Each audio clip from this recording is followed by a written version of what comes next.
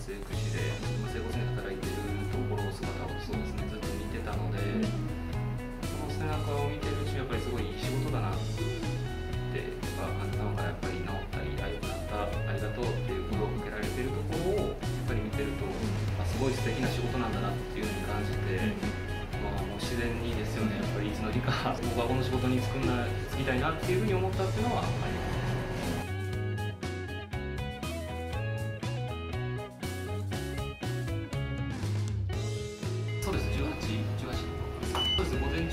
中にクリックで8時半からまで1時から4時過ぎまで学校で授業を受けて、4時過ぎからまたはい、そうです。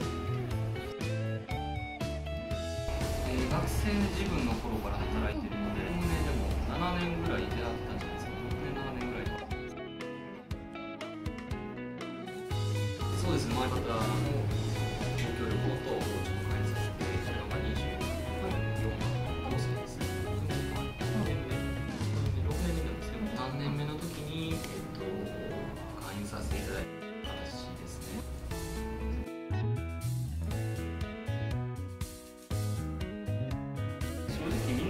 なバカなんで、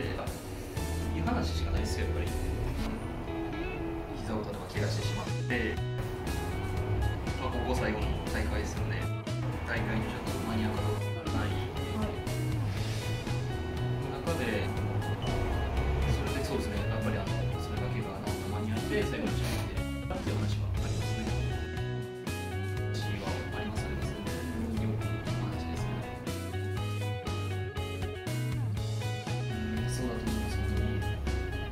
それはやっぱ治療科病院に尽きると思います。でも、逆にね、ありがとうって言ってもらう。こちらこそ体見させていただいて、ありがとうございますっていう気持ちで。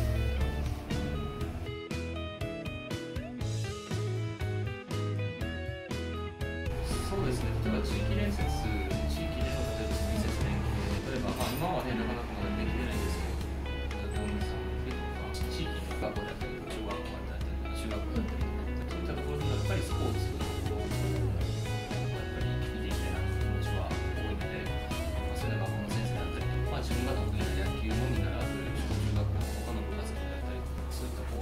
対象に、まあ、学校で例えば怪我予防で、ストレッチ講座であったりとか、そういったところももう少し協力できる方法を教えていけたらなっていうふうに思ってます。そうですね、画面も大きいことは言います。まあ、そうなれるような存在になっていきたいなと思います。やっぱり6年間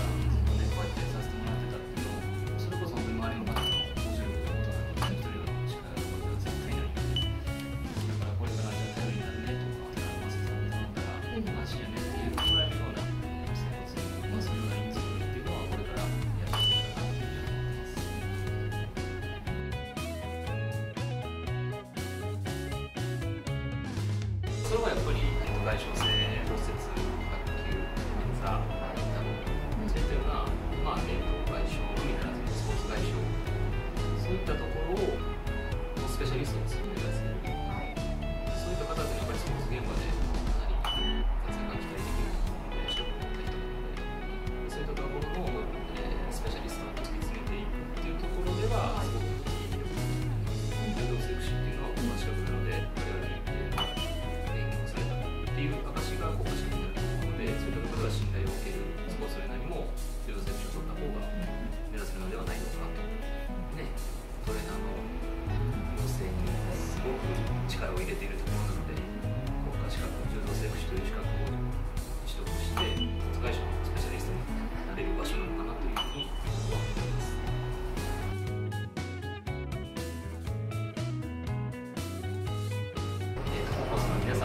さん、柔道整復師はスポーツ会社のスペシャリストなので、国家資格を皆さん取得して、